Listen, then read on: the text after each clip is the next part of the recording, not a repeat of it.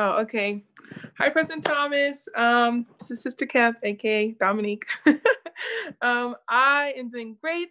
I always do come follow me with bikinis, and um, I'm keeping in touch with Teresa as well as um, Russ Thornwall. He is in the Brighton Third Ward with Bianca Ramos and uh, Liliana. Um, I'm not sure if you met them, but um, I know that this gospel is true. I know that the Savior's atonement is real. And I know that everything that President Monson, I'm sorry, President, I just said President Monson because I tried looking up your picture on Google and I put Kent Thomas and they brought up President Monson, but I think because his first name's Thomas. I don't know.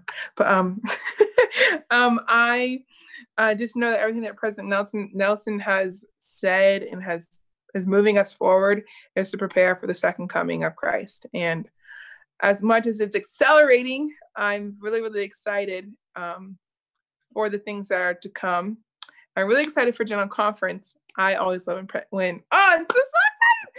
Um, something that, though, that I wish for you to know is that Heavenly Father loves you and He's aware of you and your family and any concerns that you may have in your mind. And He is so happy with your service that you are doing in in your stakes and in your wards and and the things that are in your family as well.